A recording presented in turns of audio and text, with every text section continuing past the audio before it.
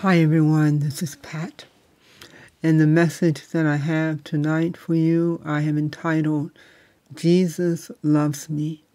Um, but let me um, pray for our time. Father, thank you very much uh, because that is so true. Even really young kids learn that song very, very early. Jesus loves me, this I know, for the Bible tells me so.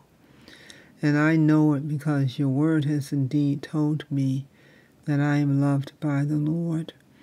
But I also know it in my heart that you have done this for me, and I'm grateful for that. And I thank you, Lord. Thank you for loving me. In the name of Jesus, I pray. Amen.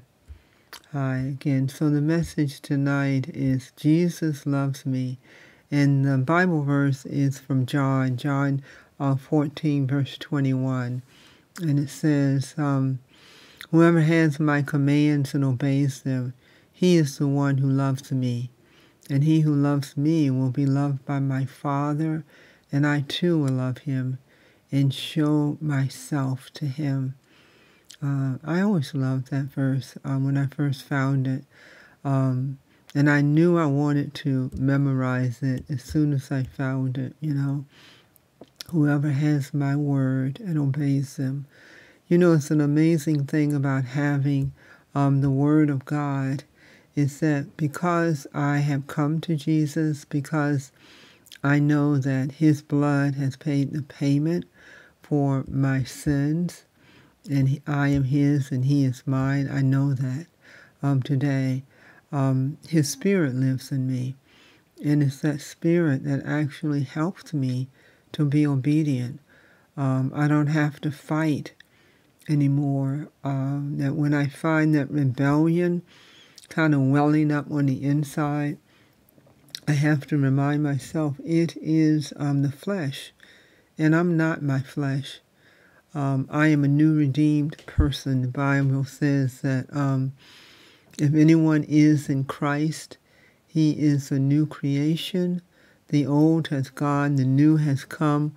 All this is from God who reconciled us to himself and gave us the ministry of reconciliation. So I'm new. I'm a brand new person, even though I've been walking with the Lord, you know, for over 30 years. But I am new. I'm a brand new person. I've been born again. But, um, and I learned all that actually in the Word of God, and I started sensing the presence of God as I was in His Word, and I started believing the love that He has for me. But, you know, some people that I encounter, they will never open a Bible, and some of them will never enter a church. And so um, their connection with God um, might only come through the Christ they see in me.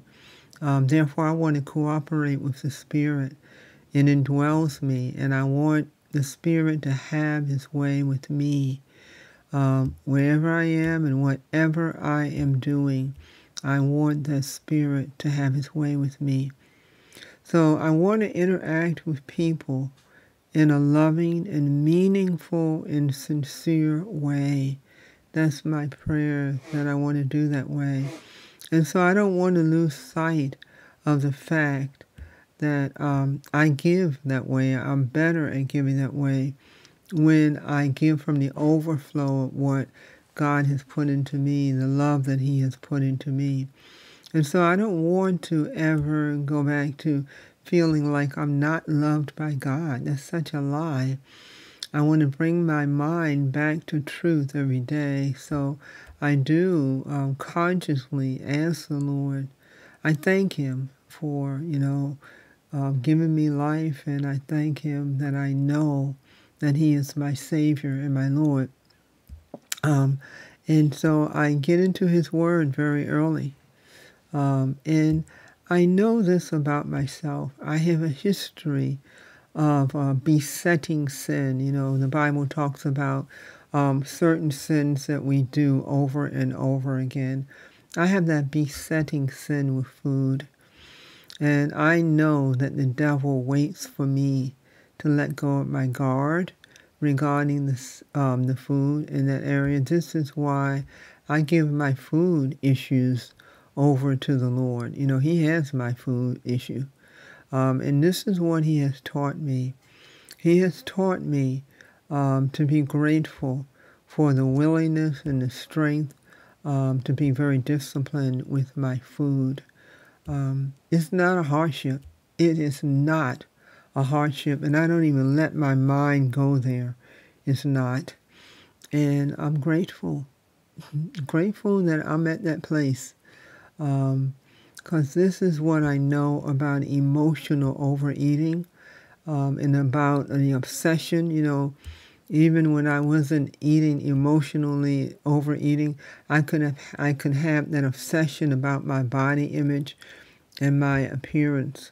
And that type of thing, I call it mind altering now because what happens is that I'm not really there. If I'm really into my overeating, or if I would be, but I haven't been.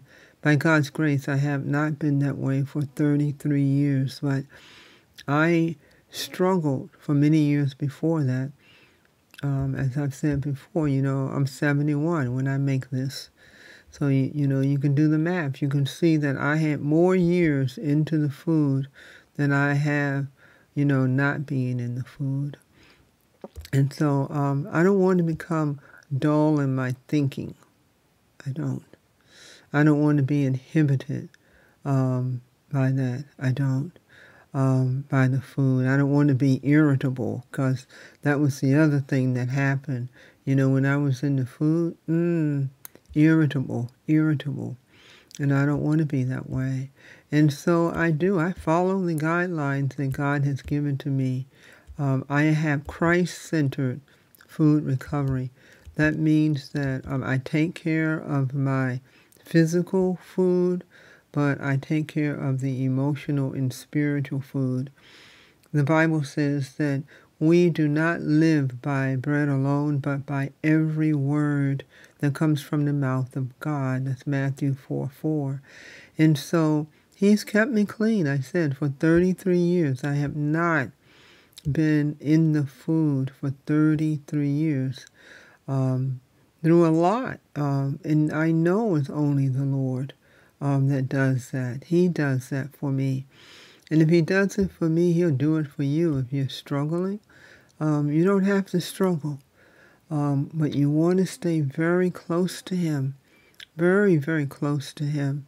He will strengthen and protect you from all the things that will come against you um, that would make you think that you needed to go into the food today.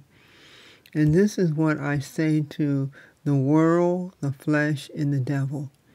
I want to be well. I want to be strong. And I want to be mightily used by the Lord. Um, and I don't want to do anything that is going to hurt him.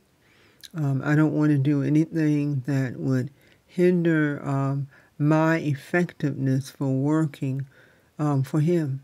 Um, I want to do kingdom work today. Um, I know that Jesus loves me and I want to love him back. I want to be obedient to the things that he has taught me. So um, let me pray um, right now. Oh, Father, you um, saved me. Uh, you saved me. I was um, listening to the radio a long time ago and heard that gospel message um, it went right to my heart. It was what I was needing and what I had wanted so bad. And I thank you. Um, it's lovely to live a guilt free life. It's lovely not to be beating up on myself or into self condemnation or hatred or into the food um, because of the voices. The voices um, can't touch me. Um, you are all over me. And I thank you for that. And I do pray, Lord, you teach me, please teach me um, how to effectively tell people about Jesus Christ. And that means teach me how to live what you have taught me. Live it out loud. In the name of Jesus, I pray. Amen. Amen. Have a wonderful rest of your day or night or, you know, whenever you see this.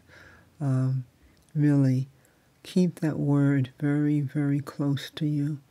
Remember that Jesus is the Word, and as we stay in the Word, we grow in our knowledge and love of Him. All right, take care. God bless you. Bye bye.